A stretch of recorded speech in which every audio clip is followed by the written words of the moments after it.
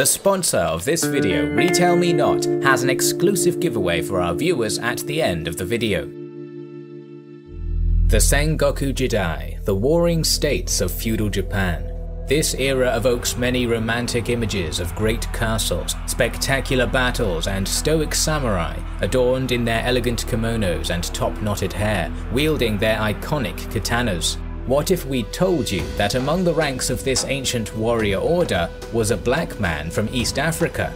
This is the tale of Yasuke, the first man from outside Japan to don the dual katanas and the only African to do so. To begin the tale of the African samurai, we must first establish the context. In the early 15th century, the Portuguese Empire had a scattering of trade outposts across the Asian Pacific. In the year 1543, they reached southern Japan. The Japanese relied heavily on the import of silk from Ming China, and as the relations between the two states were icy, and trade between the two was forbidden by the Ming Emperor, the Portuguese established a niche trade by buying silks in China and bringing them to Japan.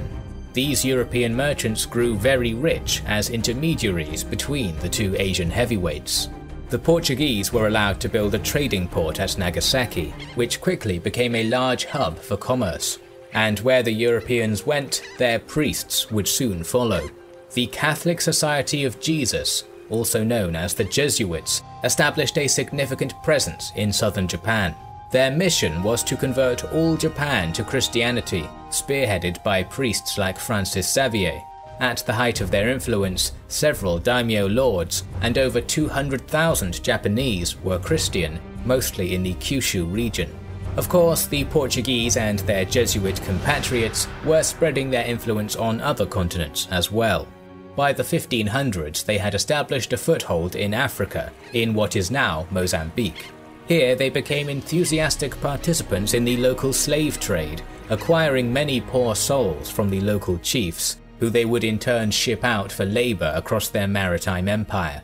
That a dark-skinned man from Africa became a samurai in feudal Japan is considered a fact. However, we know very little about him.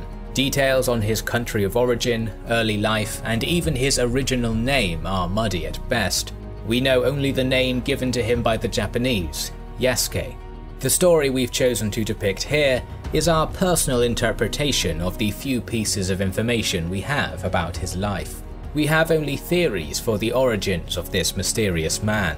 Some say he was born around the year 1555 in Mozambique, which at the time was being colonized by the Portuguese. He was most likely of the Makua peoples, a Bantu tribe, although some claim that he was from Ethiopia and belonged to the Habshi people. Either way, the saga of this East African man began in his childhood, where he was most likely enslaved and given to the local Jesuits.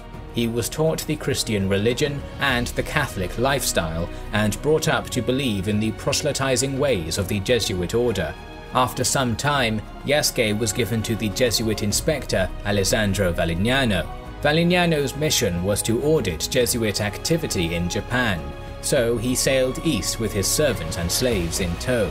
Thus, in the year 1579, the as yet unnamed man of East Africa first set foot on Japanese soil, behind the coattails of his Jesuit master. It is here we should briefly explain the Japan that he stepped into.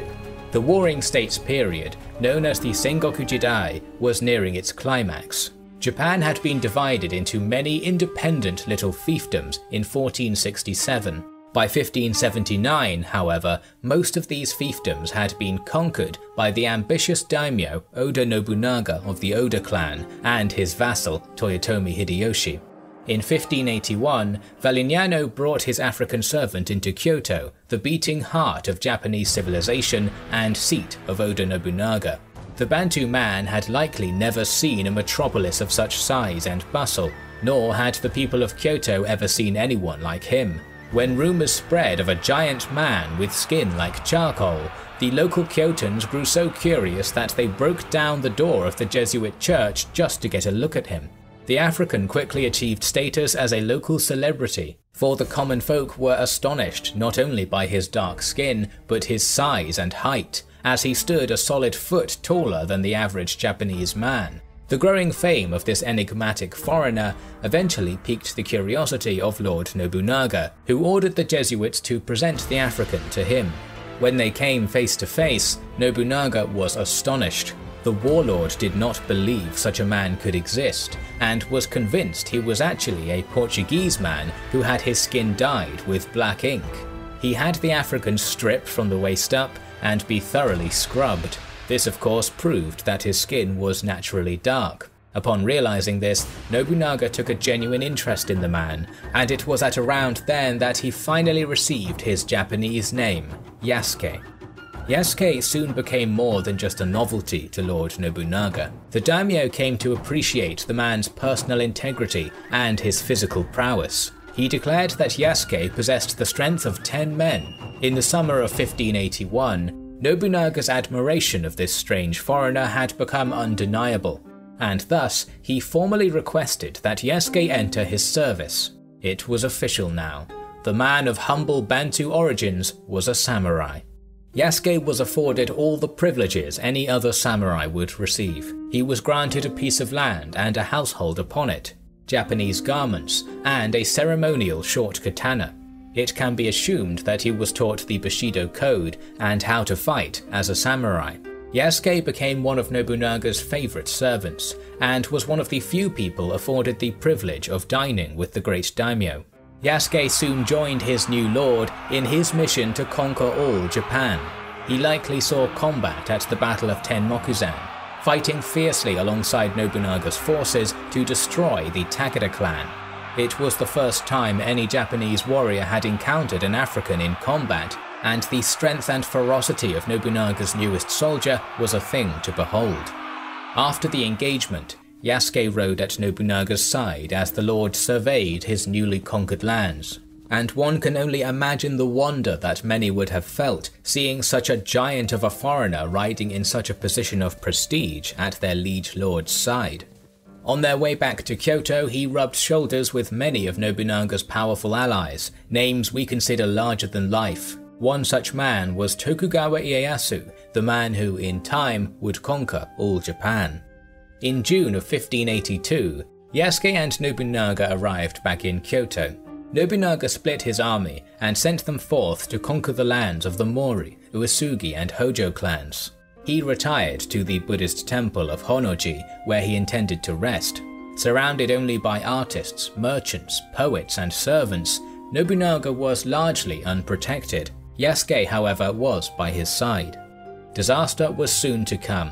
An enemy host surrounded the temple. This was a complete shock, for none of Nobunaga's foes were supposed to know he was there. One of Nobunaga's most trusted generals, Akechi Mitsuhide, had betrayed him.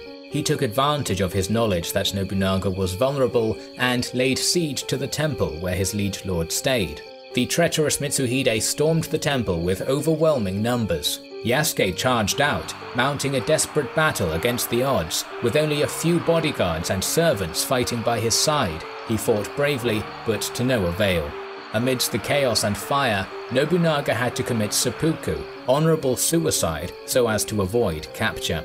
Somehow, Yasuke was able to escape Akechi's clutches. He found a horse and rode hard for Nijo Castle, where Nobunaga's son, Oda Nobutada, had mustered his forces.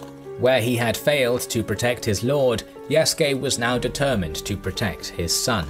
He arrived just in time, joining the young lord's army just as the traitor Mitsuhide attacked them. Yasuke fought hard in the battle that ensued, once more engaging Mitsuhide's samurai and slaying many in the defense of young Nobutada, but once again it was for naught.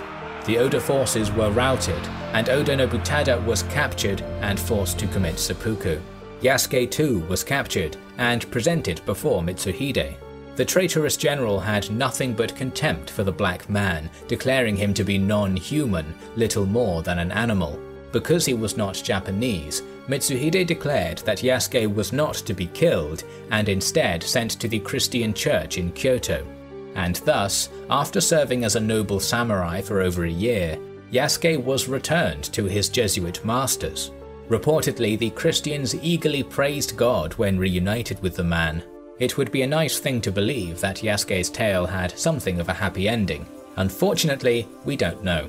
All records of his existence fade away after this point, and we do not know what his ultimate fate was, whether he left Japan with the Jesuits or died on the islands.